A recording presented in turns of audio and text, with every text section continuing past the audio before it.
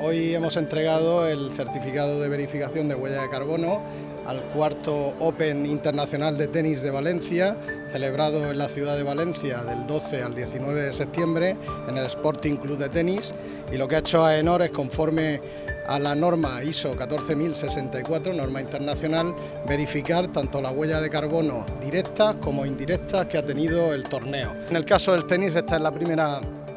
la primera huella de carbono que se eh, verifica en un torneo internacional de este, este nivel y de, este, de, esta envergadura. Somos el primer eh, torneo ITF femenino de la historia que, ha hecho un proyecto de estas características y creo que lo más importante de ello es primero ser conscientes de, del impacto que causamos en el planeta y también pues eh, no solo quedarnos ahí sino también compensarlo y luego lo más importante de todo creo que es ir concienciando a la gente de, la importancia de proyectos como estos para que todos poquito a poco eh, pues generemos el, eh, el, trabajo de manera que impactemos de manera eh, muy positiva al planeta que, que creo que, que es muy importante para todos y hay que cuidarlo.